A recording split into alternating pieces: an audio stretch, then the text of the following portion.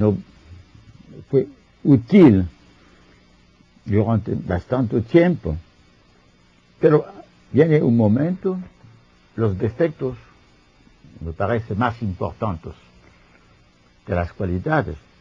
Los defectos es un conocimiento compartimentado, sin comunicación entre las disciplinas, y que impide las mentes de ver, de concebir los problemas fundamentales y los problemas globales. Por ejemplo, ahora, con las disciplinas, se dice un desarrollo de las disciplinas físicas, donde se hizo la destrucción de la idea de un cosmos, de una unidad del, del mundo.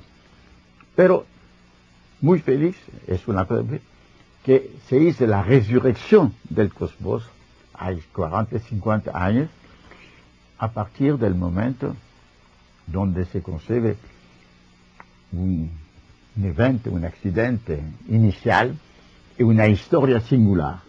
La historia del cosmos es con la creación de las estrellas y a un momento en una planeta la aparición de la vida y que esta historia va a continuar.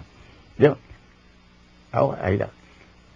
Segundo, las disciplinas biológicas han eliminado la idea de vida. No hay vida, hay moléculas, hay, hay genes, hay eh, comportamientos, behavior, no hay más. Pero la vida no es como piensan los biologistas especializados una noción vacía. La vida están las cualidades, las propiedades que emergen y la complejidad de la organización de los vivos, desde la auto-eco-organización. Un tercer, la cosa la más paradojal, es que la idea de hombre, del ser humano, se desintegró. No, hay muchas ciencias humanas donde no hay más necesidad de hablar de los humanos. Hay demografías, son cuantidades, eh, psicología habla de pulsiones, en sociología de, de, eh, corrientes económicas, la economía, liquidaciones de, de los humanos. Y además, muchos de pedazos de la humanidad se encuentran en varias ciencias cosmológicas de. Entonces, esta, situación es una, una, situación que impide de concebir las realidades humanas, la realidad del humano, y de concebir qué significa ser humano. Nosotros no tenemos, sí, hay elementos en, en la dispersión de la ciencia. Podemos tomar pedazo y pedazo y reunir los elementos, lo que yo hace en el libro que yo hice sobre la identidad humana.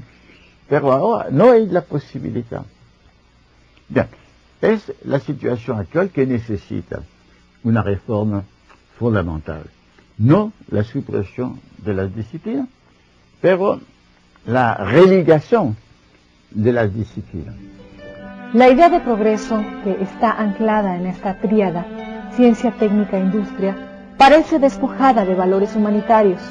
Por eso es que Edgar Morán precisa que es necesario abandonar la idea simplista de que el progreso técnico-económico es la locomotora que arrastra los adelantos sociales, políticos, mentales y morales. Por el contrario, parece que es el resultado una gran regresión, hambre y guerra. Y en medio de esa agonía planetaria, el navío tierra navega en la oscuridad, en la neblina, en una